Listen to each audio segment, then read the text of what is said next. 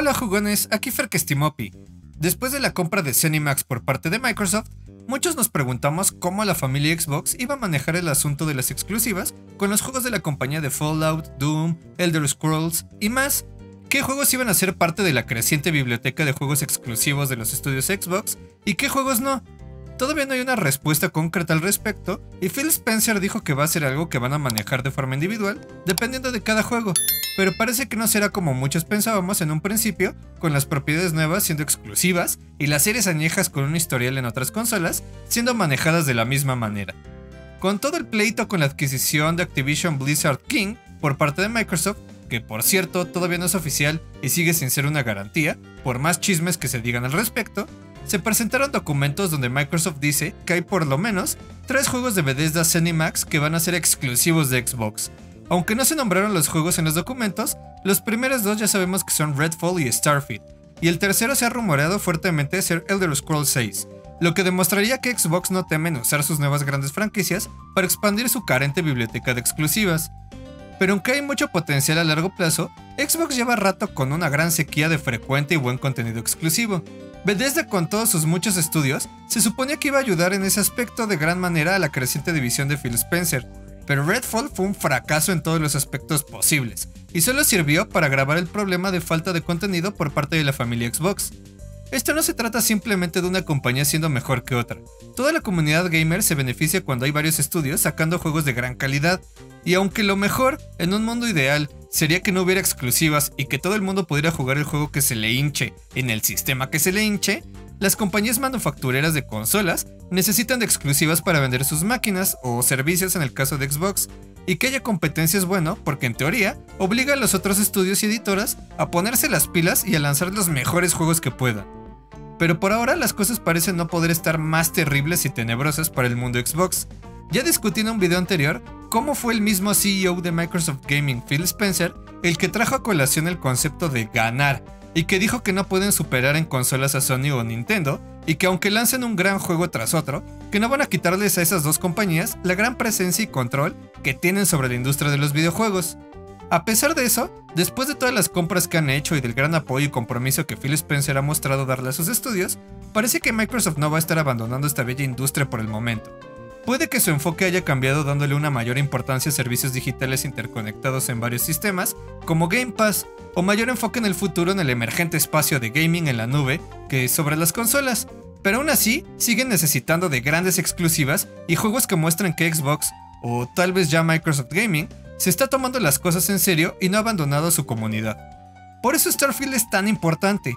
Como mencioné, Redfall tenía que servir como banderazo de salida, como el mensaje que le decía a todos, Tarde pero llegamos a esta nueva generación de juegos. Pero en vez de eso, solo sirvió para mostrar todo el camino que le falta recorrer a la compañía, y muchos en la comunidad jugona quedaron muy molestos, entendiblemente. Para muchos, esa fue la gota que derramó el vaso.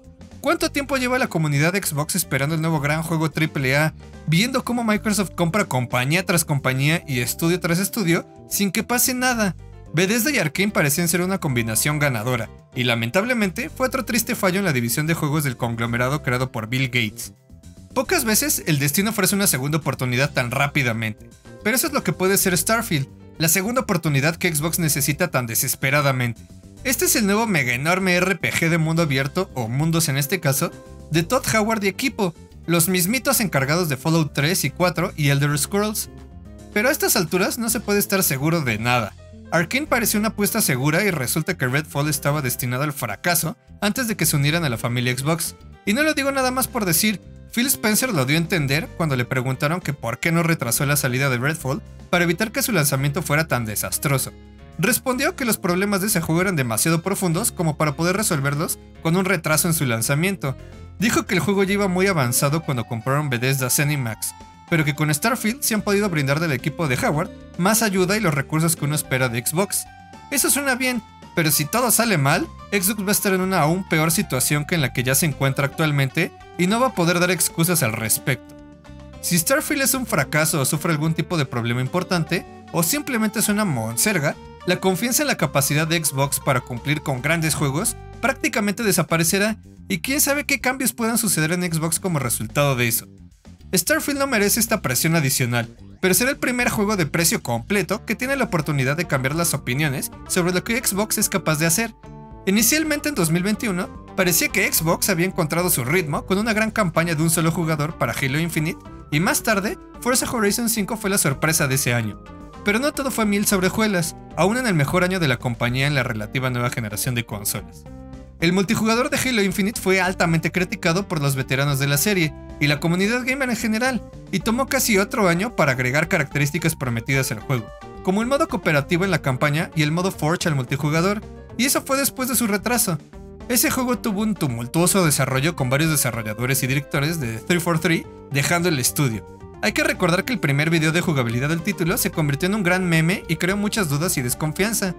Esto puso a vista de todos la eficacia de Xbox, o más bien la falta de, especialmente cuando el mismo Phil Spencer dijo, si perdemos el rumbo con Halo, perdemos el rumbo con Xbox. Entonces, ¿por qué exactamente sucedió eso con la franquicia más grande de Xbox? Hasta tuvo que salir más tarde a desmentir rumores de que ya iban a abandonar a la franquicia y que iba a haber grandes cambios en 343 por todos los problemas que presentó el Infinite. Forza Horizon 5 fue una joya en la biblioteca de Xbox, recibiendo elogios en toda la industria y finalmente poniendo a Xbox en el camino correcto en cuanto a grandes lanzamientos de contenido. Cerró perfectamente el año 2021, pero cuando llegó el 2022, nada. Nada, no hay, no existe.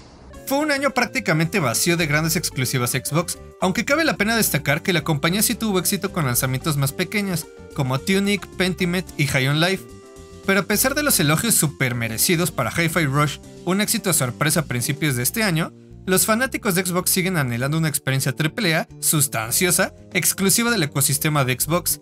Gracias por participar, Redfall. En contraste, solo hay que ver lo que PlayStation ha logrado en el mismo periodo de tiempo.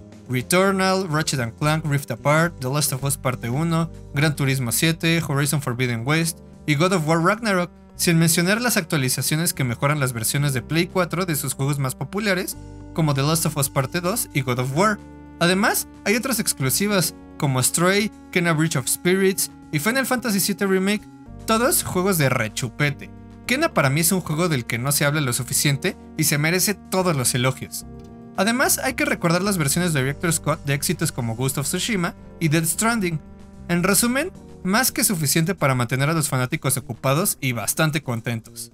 Claro, Xbox tiene Game Pass, pero ¿dónde están los grandes títulos destinados a ser éxitos instantáneos? Otra vez, no digo esto para destapar la discusión de la llamada guerra de consolas. Esto no se trata de ser fanboy, de a qué equipo le vas. Esta es una simple y justa comparación, ya que las dos compañías compiten en el mismo mercado y suelen usar la misma filosofía tecnológica en sus consolas.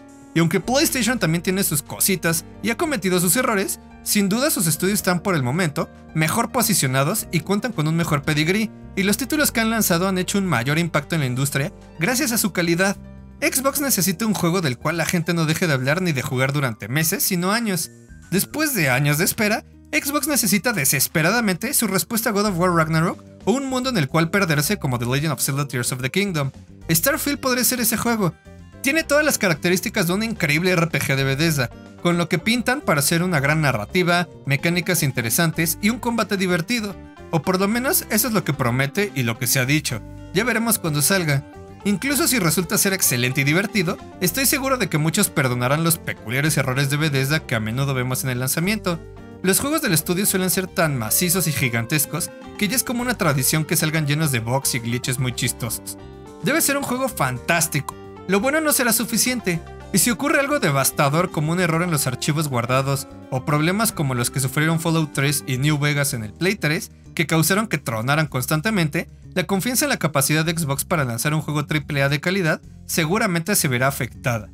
Peor aún, también se cuestionará su capacidad para gestionar sus numerosos estudios adquiridos. ¿De qué les sirve tener tanto estudio nuevo si no son capaces de darles una filosofía unificadora y de hacerlos trabajar de la mejor manera? Si no los pueden administrar, ¿para qué los compran?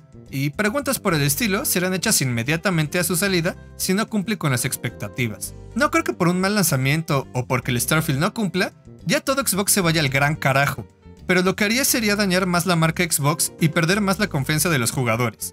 Como la gente ya espera cosas de calidad al escuchar nombres como HBO, Rolex, exclusiva de Nintendo o de PlayStation o Game Use, lo contrario también es posible, y a Microsoft no le conviene que su marca Xbox o juegos de Microsoft se hunda más y quede dañada a un punto al que sería casi imposible recuperarla o tardaría años en poder hacerlo. Tal vez ahorita todos los estudios de Xbox están trabajando en pura chulada e ignoramos la gran ola de impresionantes títulos exclusivos Xbox que se viene, lo que sería muy bueno para la industria, pero a corto y mediano plazo, Starfield debe de ser ese inicio de grandeza. Los videojuegos, sobre todo los AAA, son tardadísimos en hacer y una compañía no se puede dar el lujo de no sacar constantemente nuevos juegos o cuando los saca, que no sean de calidad, porque el corregir el camino puede tardar una generación de consolas entera. Ya estamos entrando a un momento en esta generación donde en vez de llamarla nueva ya nos estamos acostumbrando a llamarla actual, y donde los remasters y puertos se están haciendo menos comunes, y ya se espera que la mayoría de exclusivas y nuevos juegos en general aprovechen la tecnología actual y sean hechos exclusivamente con lo que hay ahora. Estamos pasando la pubertad y entrando en la adolescencia de los Xbox Series y del Play 5. Y si Xbox no sorprende con Starfield, cuando por fin lo haga con otro juego, si es que lo hace en lo absoluto, es probable que sea demasiado tarde y tengan que empezar a pensar mejor en el Xbox Season Y o como lo vayan a llamar. Jugones, ¿se les antoja el Starfield? ¿Creen que vaya a rifar? Déjenme todos sus comentarios y no olviden suscribirse al canal, dejar su like para que el algoritmo piense que sí valgo la pena y piquen la campana y pongan todos para que reciban notificaciones de nuevos videos. Recuerden lo que decía Mateo Dino Malacara. Habrá la ruptura del antiguo código occidental tu vida privada explotará repentinamente. Habrá fantasmas, habrá fuegos en el camino. He visto el futuro. Es asesinato. Nos vemos.